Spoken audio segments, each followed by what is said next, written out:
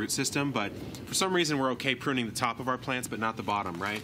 And it doesn't seem to make a lot of sense. Yes, are there plants that are more sensitive on the roots? Obviously, right? There's there's a wide range of, of plant tolerances out there, but it's really a good idea, especially when growing in a container, especially when growing a plant that's sensitive to having wet feet. So we're just going to get this going a little bit, and we may have to do a little excavation.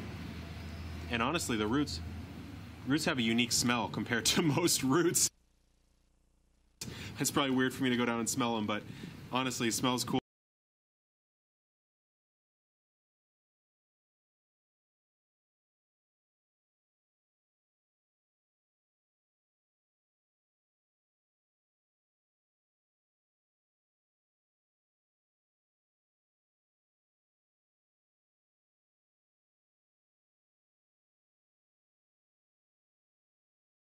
For some reason we're okay pruning the top of our plants but not the bottom, right? And it doesn't seem to make a lot of sense. Yes, are there plants that are more sensitive on the roots? Obviously, right? There's there's a wide range of, of plant tolerances out there, but